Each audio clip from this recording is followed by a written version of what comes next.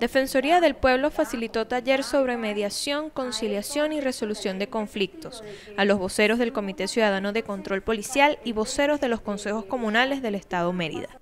Este taller está eh, conformado por los aspectos generales de lo que son los derechos humanos, la visión crítica de los derechos humanos y eh, le damos a las comunidades la información relacionada al catálogo de derechos humanos que están establecidos en la Constitución de la República Bolivariana de Venezuela y sobre todo a la estructura eh, de la administración pública del Estado como garante de esos derechos fundamentales que están establecidos en la Constitución.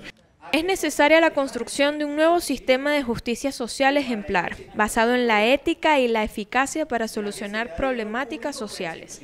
Esto se logra conociendo las atribuciones en materia de derechos humanos para exigir su debido cumplimiento a los entes indicados.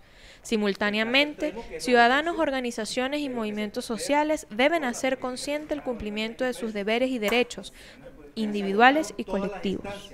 Igualmente hoy aprovechamos la oportunidad para darles algunos eh, detalles relacionados o alguna información relacionada con algunos medios eh, de resolución del conflicto, como es la mediación y la conciliación, que van a formar parte de ese nuevo sistema de justicia que eh, viene a conformarse en el Poder Popular y que nace precisamente de estas leyes del Poder Popular. En contraparte a estas iniciativas formativas, ocurre un fenómeno en televisión.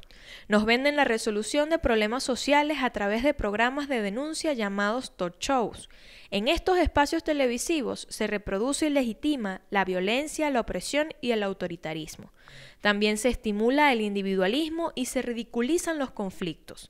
Todo esto va en detrimento de la construcción colectiva de un sistema eficaz de solución de conflictos sociales. Si no contamos con un ciudadano educado, con un ciudadano crítico, con un ciudadano que reconozca que en el ejercicio de sus derechos humanos, que en el respeto además que tiene que tener de los derechos de los demás, no podemos convivir en una sociedad como está planteada en nuestro modelo, en nuestro proyecto político que establece la Constitución.